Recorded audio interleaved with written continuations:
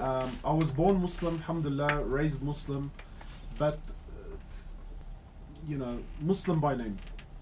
I knew very little about my deen, even though my mum and my father, they did do their best, but I knew very little about my deen. Basics, um, eating pig is haram, alcohol is haram, that Muslims pray five times a day, and there's once a month, there's a month called Ramadan, and this was pretty much it.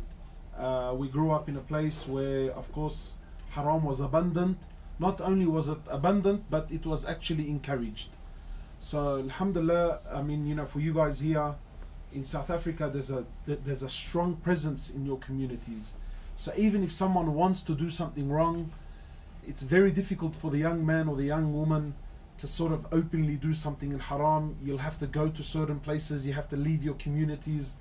Uh, in the earlier stages for myself growing up, this was not the case. Of course, now things are changing back home in Sydney, alhamdulillah. But uh, you know, there, there was no such thing as haram or, or, or, or you know or a shameful act. Um, so of course, yani, you know, grow, growing up, uh, nothing was off limits. Literally nothing was off limits, and it was abundant and it's available. And then you know, subhanallah, like you reach a point in your life where you start, you know, you've done everything, you've tasted everything, you've tried everything, you've been everywhere, and there's an emptiness. There's an emptiness, you know. So, and I think this was the beginning of my calling. I always loved Deen. I always loved Islam. It was a thing of respect, but you know, it was not in my life. So there was no practice. There was no implementation of anything. And uh, actually, Subhanallah, one of my uh, inspirations to coming, becoming a da'i was actually due to a South African man. No other than the late uh, Sheikh Ahmed Deedat, whom we ask Allah Subhanahu wa Taala to have mercy upon him. Uh-huh. But he played a, a really big influence. I remember the first time I watched a video of his, just the idea that a Muslim could stand on stage with so much confidence and speak about their faith in front of uh, it was it really blew me away. So and then subhanallah, you know, I, I just um, I turned to deen alhamdulillah and I guess as they say the rest is history. Alhamdulillah. No, uh, there is, you know, many youth would be uh, able to identify with your own story, and that inshallah will be an inspiration for them. Now, uh, then progressing in your life and then going out in the path of Allah and uh, becoming more affiliated with Deen. uh, How was it for you in terms of, you know, having to leave perhaps those friends and the places where you were going and those that you associated before? no regrets whatsoever. Wallah, yani, I you know I speak to a lot of brothers, and I guess this is hard for them leaving their old. For me, I uh, uh, for me I loved every minute of it. I haven't turned back since. I don't regret a single moment. I mean, if there's any regret I have, it's that I didn't do it earlier. But having said that, not all is bad. You know, not all is lost. I feel that being where I've been helps me in my da'wah today. Now, of course, I'm not saying this so that the young one can be encouraged. Let me go have jahiliyyah and then use this. No, but you know, I believe for myself personally, it has impacted me, and um, I feel like I understand that side of things more, and it uh, it helps me addressing those issues in my da'wah. And certainly that does have an impact in the sense that many youth uh, are able to identify with you and they listen to your, you know, your lectures and uh, they draw inspiration. Uh, when we talk about drawing youth towards the Deen of Islam and, uh, you know, providing them with content and things that will inspire them, what is, how do we attract them and how do we appeal to them? How honest do you want me to be? As honest as, uh, you know, what is in your heart, you say it as it is. Okay, well, I believe that we do a lot of injustice towards the youth. And the truth is, I feel like we contradict ourselves so much. Because we display one thing, but in reality, we want another.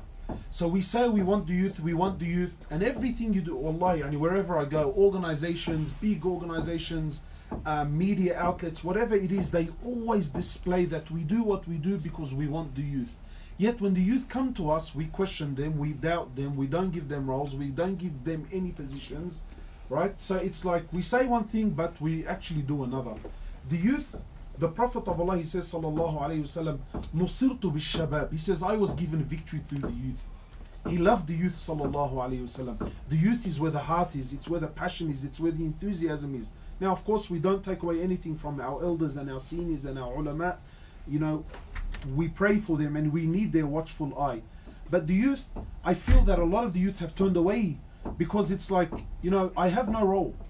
Like, I'll give you an example. We get a young man who comes onto deen, and it's the nature. I know it's difficult, but it's the reality. When someone comes onto deen, especially if he has jahiliyyah, he comes enthusiastic, he's hungry, he wants deen, and he wants it all right now. Now, good or bad, I know we can debate this, I understand. But what do you do with this enthusiasm? There's no role for him. There's nowhere to go. You look at our institutions, you look at our organizations, the same mullah, the same elder that's been there for the last 50 years, he won't give up his seat. And even if he does, it's probably to his son or to his grandson or to his nephew. So what are we doing? We say we want the youth, but then we've got no role for them, do we? Hmm, an important point of reflection, and uh, you know, uh, when we talk of truth, it does create the unease, but that is how we will progress by uh, discussing these sensitive issues and then building from that. Uh, when you you know you made reference earlier to the difference in uh, the in, the community that you have in South Africa, where there is that signs of Islam, and that is some sort of a protection in Australia. You know, people are more free in a way to say. Uh, how would you describe the typical Muslim community, and what makes Australia different in way in the way people live and uh, you know their approach towards Deen is comparison to South Africa, since it is already your second visit to South Africa? Um, look, I, I, I think uh, something I definitely want to share, especially with the South African people, and I hope you take this. I'm not being political in any way, rather, I'm genuinely being open to you all that you guys are indebted to the elders of this country. You guys live in a blessing that you will not understand and appreciate until you leave and you see how people outside are living. So, wallahi, my hat off and big, big dua to those elders who came here and worked so hard and establish the community that you guys now enjoy. You know, the, the, the uh, you can see their works, the people that came here and sacrificed their lives. MashaAllah, you guys have a very strong community here. You've got many, many ulama, you've got many schools, hafiz schools, alim schools. Uh, you guys have a very strong presence. Of course, we don't have this back home in Australia. The Muslim community is still relatively young, so it's still new. Um, you know, the the most senior of our ulama is probably 50 years old. That's the most senior. Whereas you guys have the luxury of the alim who's the son of a alim who's the son of a alim and it was all homegrown people that you know so we don't have these things back home um, but there's room to grow in australia whereas i feel and i don't mean this in any bad way i feel like in south africa there's no more room to grow feel like you guys have reached capacity um, and you know something that I see that I was having a chat with the guys before is you've got a lot of these young ulama who go, they study, they finish their hifz, they finish their alim course, nothing to do with them. Nowhere to go. They've got no roles, they've got no jobs. And when you go back home, like say for me in Australia, they're dying for anything to do with alim. Anyone that can just read salah, someone that can just lead the prayer for us is, is you know, is a big thing. So, subhanAllah, you know, every place and every town has its ups and downs. Uh, the entire South African community have been very touched with the Australian brother who passed away. Also, the video that uh, went viral where you spoke about. Uh, yes. Yes. Perhaps you can, you know, share with us uh, uh, any insight on his life story and uh, share with us, you know, your link or anything to him. So, so, so this brother, he's a, um, he's a close brother. He's from our local masjid. And uh, you know, subhanAllah, what's amazing about his story is he's your typical average everyday Muslim. He has a family, he has a business, um, you know, he has his everyday commitments like every single one of us do. Um, he's 41 years old. I mean, he died at the age of 41, but a few years ago, subhanallah some I'm not I'm not sure exactly what it is that inspired him I know his younger brother who also came to South Africa and he did his hafidh he finished his hafidh um, he inspired him to want to memorize the Quran. Now he had no no experience with the Quran. His Quran was actually quite poor, but he inspired him and he wanted to memorize the Quran. So I remember for years. You know, he would pray Fajr with us in Jama'ah, then right after Fajr, he would go take his corner and he would sit from Fajr until 9 o'clock in the morning. And then 9 o'clock in the morning, he would take his children to school and then get onto his truck. It's got a lorry here, or is it a truck? Like your tow truck. And then he would go to work. Um, subhanallah, and he had this unbelievable dedication.